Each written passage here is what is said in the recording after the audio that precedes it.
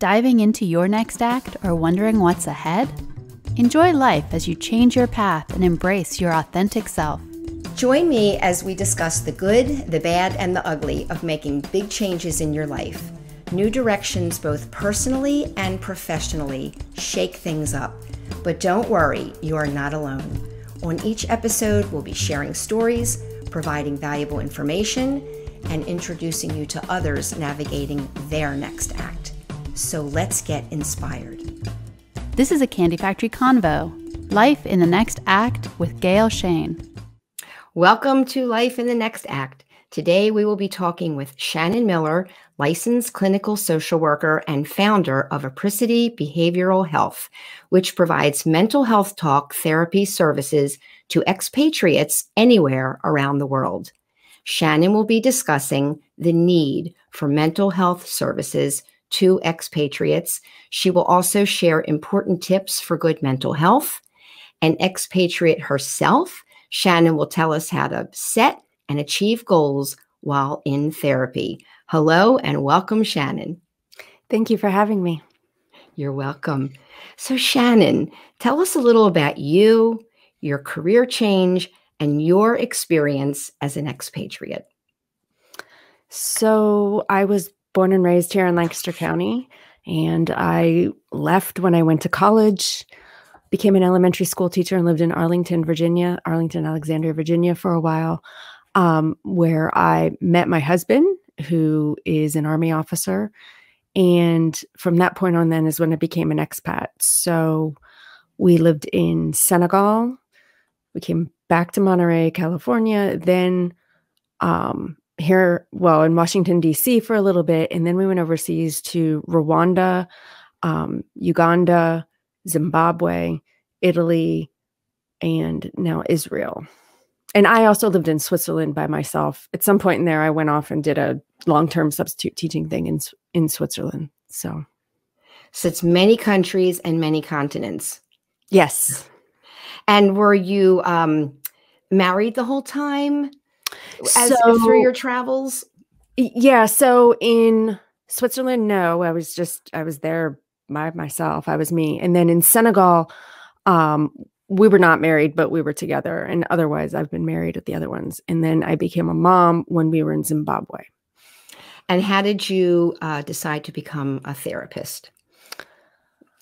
Through my expat experience, um, I was seeing lots and lots of untreated, undiagnosed mental health problems because there was no way to treat them. Um, online therapy wasn't really that much of a thing at the time. Often the cultures we're living in don't really support mental health. Um, people were being sent back to America for treatment, and often it was a career ender where it would have just been easier if they could have been treated while they were um, what we would call at post, um, meaning you know that they didn't have to go home here to America to get to get treatment. They could stay in the country where they were located. Um, I loved being a teacher, but I just didn't see myself being stuck in a classroom with a bunch of kids for the rest of my life. Um, and so I just decided to go for it and, and pursue that.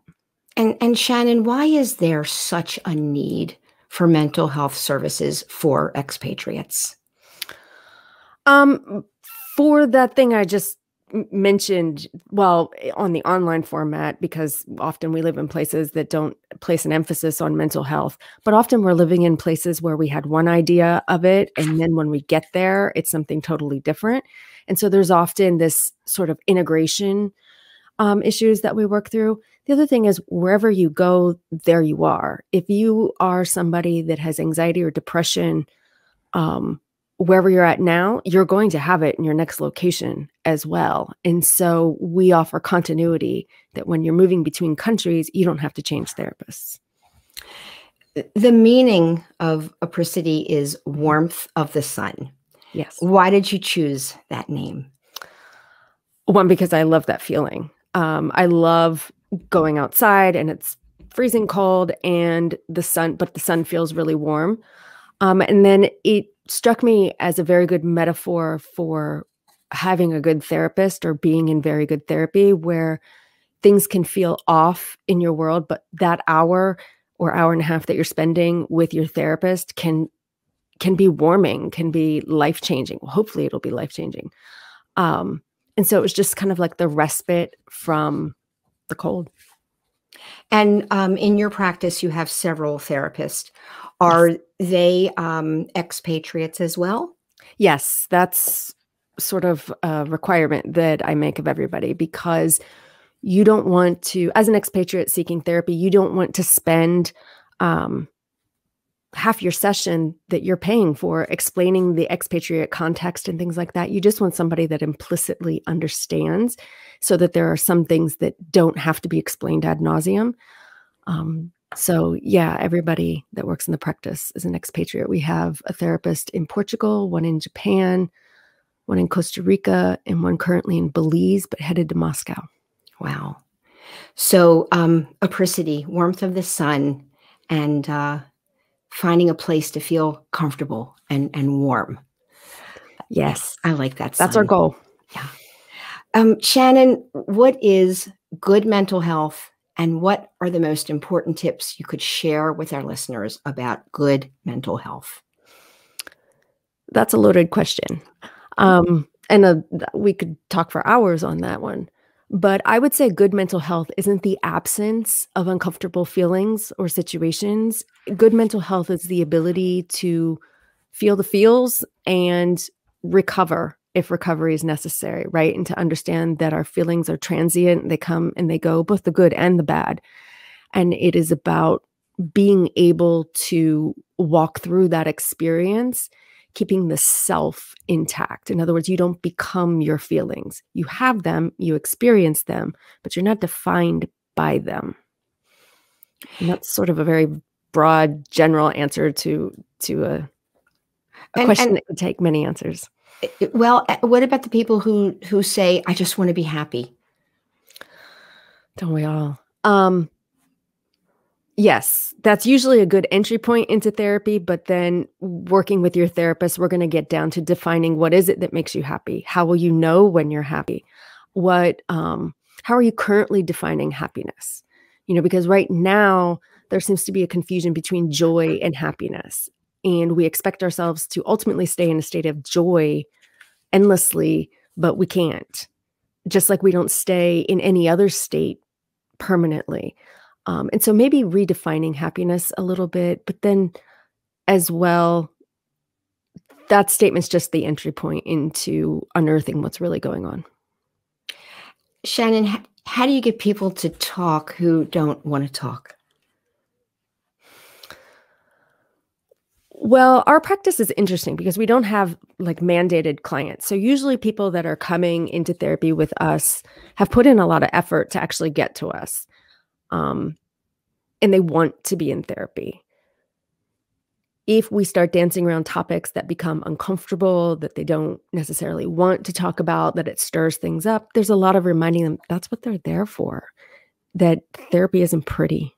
Um, it's not going to be neat.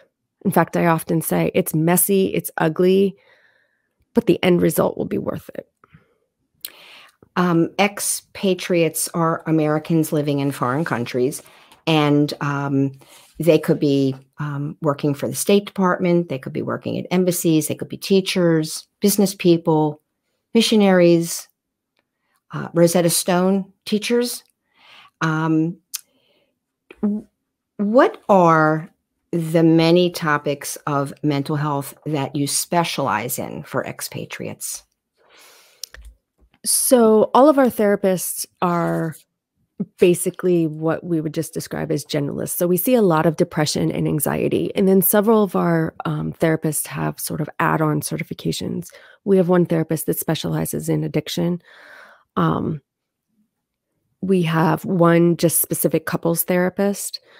Um, but mostly people come to us with depression, anxiety, sometimes relocation depression, which is where the mood sort of dips when the newness of some place wears off. And then you're like, wait, I, I'm, I got to be here. I got to do this. I don't like it. Um, we often often see PTSD, moral injury, which is sort of the sister to PTSD.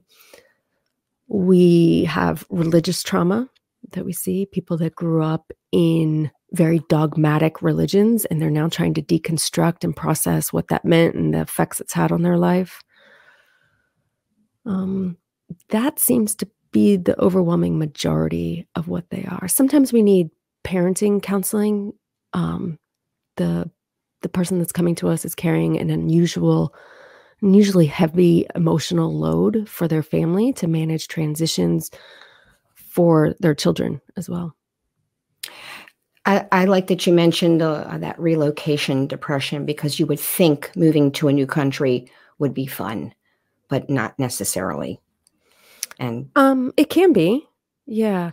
What what is typical though is that there's sort of this culture shock arc that people go on where we're super excited, everything's new, great, interesting, fun, um, and then that wears off and then what used to be sort of a novelty then becomes this grating irritation. And it's coming to terms with that and figuring out how you yourself will navigate your way through it. Um, and sort of giving you some of those strategies. We don't give you the answers, but we ask the questions that will lead you to kind of come up with your own plan of how to move forward. And sometimes that plan may be I'm not going to stay in this country. When counseling couples, what are the most common things that couples uh, frequently argue about? And how do you counsel couples? So, I personally do not counsel couples. I leave that to um, Christine, our therapist that's in Portugal. And she's trained in both the Gottman and the Imago methodologies. The things that we see quite a bit, um, basically the spouses are on two different pages. One wants one thing, the other wants another, and they talk past each other. Or the goal is the same, but the getting there looks very different for both of them. So a lot of times it's on two different pages is you know one spouse wants to be done with this lifestyle and the other wants to keep going or one wants to um, deepen their ties where they are, and the other just wants to leave it as it is. So uh, the Gottman and Imago methodologies that you mentioned, does that mm-hmm. mean that your therapist, Christine, mm-hmm. uh, that she would use different approaches depending on the couple or the situation? Yes, to both of that. So good therapy is client led. In other words, yes, I'm trained in these methods, but if the method's not working for you, what's the point in doing it? We got to do what works for you. And so it's sort of a rhythm. And that's the art of therapy is for the therapist to figure out what works for the client. What way do I need to frame this or discuss it so that it makes the most sense to them and they're getting something out of it? Um, both methods, I mean, the Gottmans are very well known in the industry, and Imago is becoming more well known. Um, it's not one of the it's not one of the ones that have made its way into pop culture yet or pop psycho- psychological culture yet. Shannon, I think you answered this earlier, but I think it's worth repeating. What are the top mental health challenges that you face today? I always tell my clients all roads lead back to anxiety. Usually if if it's not something pathologically wrong, in other words where there is something wrong in your brain, if this is situational, it goes back to anxiety. That can show up for you as depression, um, which it usually does. Those two are usually best friends. Depression and anxiety typically go hand in hand. Um, we see religious trauma, compassion fatigues, one I didn't mention before. And that's when you just get burnout from giving. And then you become angry. And then you become angry at yourself for the fact that you're angry because you're there to give. Um, what else was there? Relocation depression and that's very specific to you know depression related to just moving moving around and and being in a new place. But practically speaking whatever it is you come to us with we will tell you right up front whether or not we can treat you. And there are going to be some people that's not appropriate for us to treat um, via video conferencing which is how we do everything. And so we would um, cover that in the first 15 minute session that we do. So that's my next question. How do your clients connect with you and set goals? So, connecting with us, you can find us on the internet. I mean, we have our webpage at apricitybehavioralhealth.com. Um, we're also listed in the International Therapist Directory. Um, I personally am listed in a bunch of individual directories, as are a lot of my therapists. So we're out there. But if you just Google Google Apricity, and I think we've mastered the Google monster enough now that we show up on the first page. Um, if you do that, but Apricity Behavioral Health will lead you to us. So um, you schedule that 15 minute consultation oh, and you, yes, you realize, uh, you know, are you a good fit? And so we then, have con- go ahead. Sorry. No, go. Um, we have a contact us page on it. So you're going to fill out a form on there and basically you're going to say, "Hey, what what's a good time for us to call you? What's your phone number? Where are you located? Do you have a preferred therapist that you want?" And then we really like it if you give us just a little bit of insight as to what's going on. Um, because if you don't have a therapeutic preference, we know better which therapist to sort of assign you to. From there, we schedule a 15 minute intro session, and that's really sort of a logistical one where we go over how everything works um, and get a better idea of what's going on and whether or not we can be helpful to you and, and sort of what brings you to therapy. Um, and then from there, you would create an account and have a session. We use Zoom. I like to say we were on Zoom before it was a thing. Um, but yeah. And how do you help your clients set the goals? That's important, isn't it? Um, well, it depends. Yes, goals are important. Absolutely. Because I always start out by saying, what needs to be different for you to say this was my, worth my time, my effort, and my money? I want to know what change you want to see. And then, you know, I go back to that question again of, well, how will you know when we've achieved it? How do you know when our work together is done? And we basically set up some thresholds or tripwires of very practical things that we can see. Now, what happens is as we're trying to meet these goals, therapy can tend to take on two different levels where there's the cognitive behavioral stuff on top, and that's very much the day to day behavioral stuff, exactly what it's called. But then underneath that, getting to the root of why it's happening, sometimes we go into more psychodynamic stuff. Um, so again, the therapist is always keeping the goals in mind. It just may not feel like that. It's not that scripted from session to session. And how would a client know that they've accomplished or they're finished or they don't need any more therapy? Mm-hmm. Mm-hmm. So that varies from person to person, really, but it's it's a mutual agreement between the client and the therapist we like to wrap up therapy and not have you just ghost us um, because it is a relationship that you that you get into with your therapist. That I mean that's the cornerstone to everything is having that good relationship with your therapist. And so it's it's something that the two of you would mutually decide on of okay have we met this objective this objective? You know and that's very sterile talking about things that are sort of um, very they can feel elusive at times. So you just keep having that ongoing dialogue, and the therapist will get a feel for it and perhaps start mentioning it um, when he or she feels that you're edging closer to quote unquote being done. Um, and then we kind of decide what we're going to do when we're done meeting on such a regular basis. Like, hey, do you want to have just check ins? Do you want to reach out to us when you need us? What do you want that to look like? And again, we make it client centered. What works for you? Uh, Shannon, I, I saw this on, on your website, which I love, Apricity.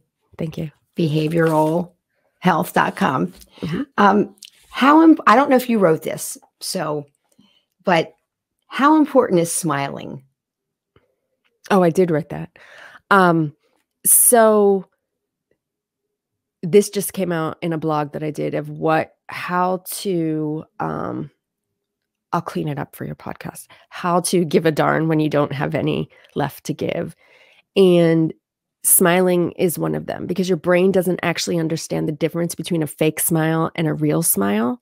So it's going to release those chemicals. So you want it, you just want to smile. Your brain will follow suit. It will give you those feel good chemicals eventually. We're not talking you're going to mm-hmm. go from being distraught to gleeful, but it's enough to sort of keep you going. It's also contagious. When you receive that smile back, that's also a dopamine hit. That's a reward for you. So you smile at somebody, they smile back, you get the dopamine hit, and it sort of grows on itself at that point. The same as if you're around grumpy, sad people, that's going to feed off of you too, right? You're around an energy drainer, it's going to drain your energy. Um, so it goes both ways. Shannon, I have listened. So tell us about your new podcast. Yeah, so the new podcast is called Dear Sigmund, and it's with um, Dr. JP Shand and myself, who's a board certified psychiatrist. Um, basically, we're just answering, it's a question and answer format where we're just answering mental health questions in a very conversational, matter of fact way, trying to add a little bit of levity to it. Um, yes, mental health is a serious topic, but we don't have to make it laborious to talk mm-hmm. about it. Um, and we can have some fun with it. So it's Dear Sigmund, question and answers. Um, you can submit a question through the form, and, and we don't necessarily want to know the identity of who's asking us questions. It's best probably to remain anonymous.